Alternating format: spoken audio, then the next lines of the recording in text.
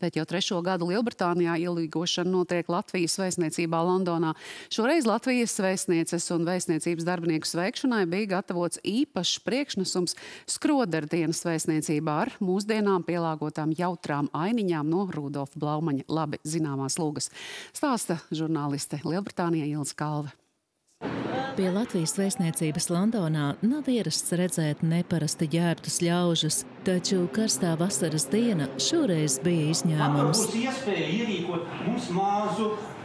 Neviens no uzveduma dalībniekiem ikdienā ar teātri nav saistīts. Tādēļ veiksmīgā aktierspēle un labi sagatavotā izrāde bija pamatīgs pārsteigums. Kā jau jebkuram cilvēkam, pirmā reize satraukums un, un uh, vārdi juku jukām un, un vispārējais.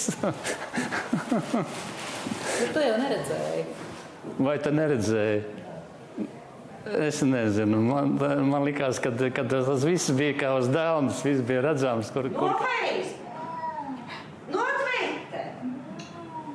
Īpašās izrādes režisors pats ir profesionāls maiznieku meistars. Trīs reizes izlasīju Blaumani, pārstopi, pēc tam es arī gribēju pievienot arī mūsdienīgo, plus vēl katram, katram aktīriem es ļāvu izpausties. Vienu brīdi bijām tā jau piekusuši no tās labošanas, katrā minējumā, katrs runās savādāk.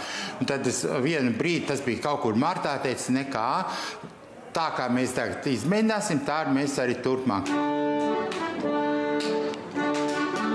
Man ļoti patīk, ka tautieši šeit ne tikai no Londonas, bet no tuvākām, tālākām malām grib braukt uz vēstniecību, grib svinēt šo svētkus ar mums kopā. Tā sirsnība, patiesums, emocijas plūst pāri malām. Un... Mēs atbraucām uz Londonu. Ko mēs Londonā darījām šodien? Dancojām. Kur mēs dancojām? Kas tā bija pa Londona? Jā, bet kas tā bija pa, pa vietiņu? Kur mēs esam atbraukuši? Lejā. Lejā.